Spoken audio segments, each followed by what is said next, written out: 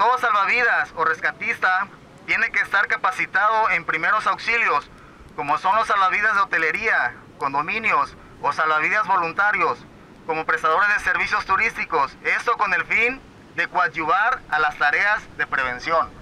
En total se realizaron cinco ejercicios con personal de salvavidas de la Secretaría de Gestión Integral de Riesgos y Protección Civil y la Dirección General de la Promotora y Administradora de Playas.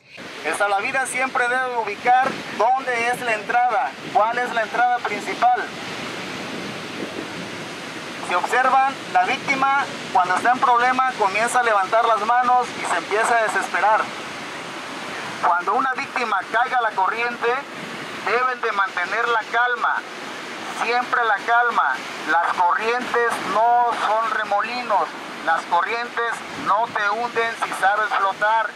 Se trató de un rescate utilizando una tabla boogie board, otro con una long board, un tercero con una boya tipo salchicha y el rescate cuerpo a cuerpo catalogado como uno de los más complicados. No hay equipo, no hay una boya, no hay una tabla, no hay algo que te ayude a mantenerlo a flote a la víctima, es por eso que es muy complicado y más en mar abierto.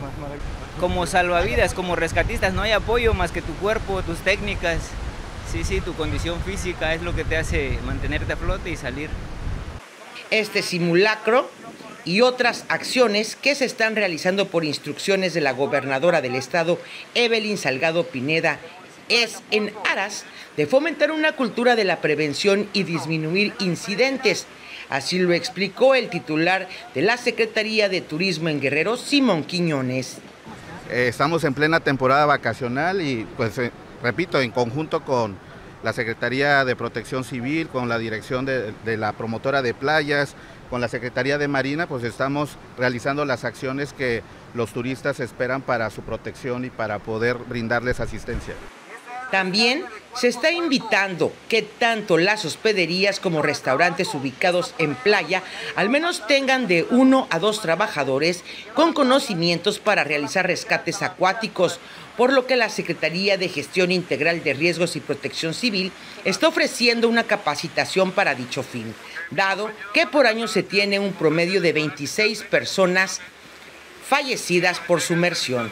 Son personas que desafortunadamente ingresan al mar en horas que no corresponde, donde ya hay oscuridad y donde naturalmente poderlas observar desde la playa o en una piscina, a veces no hay nadie que los pueda atender. Entonces, la invitación es para que se respeten los horarios, para que se tenga también la posibilidad de conocer. Ya lo vimos ahorita que es relativamente fácil salir si no estamos en estas zonas peligrosas. Nuestros compañeros salvavidas están ahí para indicarles a través de silbatos que no deben de ingresar a estas zonas de corriente. También se recomienda que al llegar a una playa se acerque al salvavidas más cercano y le pregunte cuál es la zona más segura donde poder disfrutar el mar con menor riesgo.